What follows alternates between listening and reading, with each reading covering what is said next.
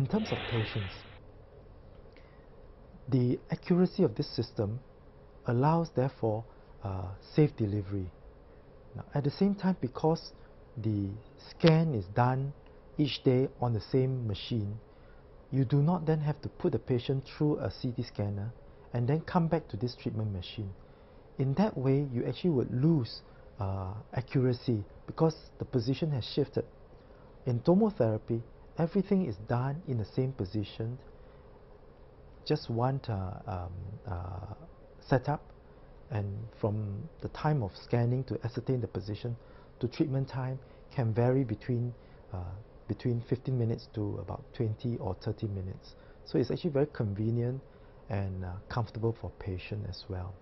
What this then translates into would be uh, confidence of uh, the doctors in allowing for very tight um, delivery between high doses and low doses. High doses in the tumor, low doses in the uh, surrounding neighboring structures because you have a scanner to, to ascertain that you're accurate every day.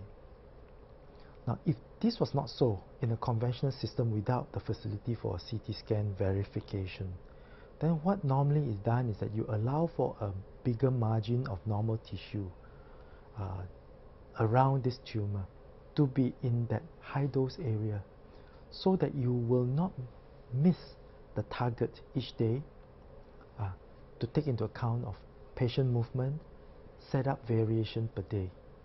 So indeed, the patient finds that uh, using this system, they would cut down on the side effects, increase the chance of control, and doctors also could ascertain that what they are delivering every day is in the right spot.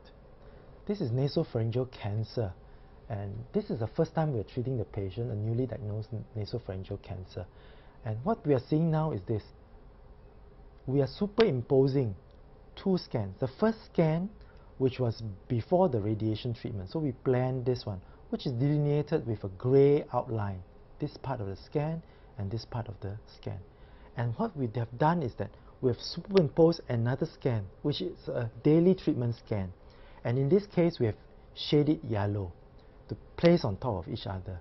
And then we can match it to see whether we are in the right location or not. And what we have seen in this case is this. If you look at the gray scale, the gray scan, this is actually where the nasopharyngeal cancer, the tumor at the back of the nose, you can see that this is actually very thick. Now, this is about three weeks down where we are delivering radiation. And in this particular scan, when we compared, you can see actually that it is actually much uh, thinner. And so the tumor has shrunk. And we can now see actually with our own eyes on CT scan when the tumor starts shrinking. So we got very excited over this. When there is organ movement, for example in the lung, right? In this case, we were actually treating small lesions that have spread to the lung. The other areas in other parts of the body, the cancer was well controlled, except one tumor here and another tumor in the lung here. Um, when we employ tomotherapy, we could make sure that each day that tumor is encompassed within your high dose area, despite the fact that the tumor may move uh, um, with respect to respiration. And uh, in this case, we could actually also see that uh, the tumor was shrinking during treatment itself. Uh, you may not be able to see it very closely, but if you look at the two scans again, the grayscale being the initial scan before radiation and the scan that we've superimposed on it during the treatment which is this green shaded area you can faintly maybe make out that this gray area was originally so big and then when we've treated during treatment it's shrunk down to just this small size here by and large the principle is that it is safe because we are reducing the dose to the surrounding normal tissue uh, which are sensitive and such like um, the optic nerves, brain tissue, the brainstem, spinal cord, lung tissue, neighboring kidneys, or rectum in the case of prostate cancers.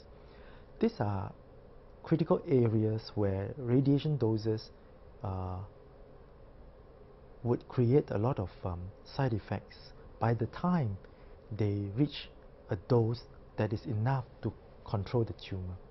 So what we would do is actually to, to deflect, inverted commas, deflect the radiation away from these neighboring sensitive organs to distal areas such as skin, such as muscles, and other less critical areas which can tolerate the radiation better. So it is unlike conventional radiation where you see quite a lot of side effects close to the uh, tumor itself and uh, from the uh, um, path of the radiation. In terms of the long-term sequelae, the long-term side effects, it is much less uh, because you're now spreading a lot of this radiation, shed it with a larger area of normal tissue. Uh, and so they are generally in the lower dose area. So the side effects in long-term situations are much less.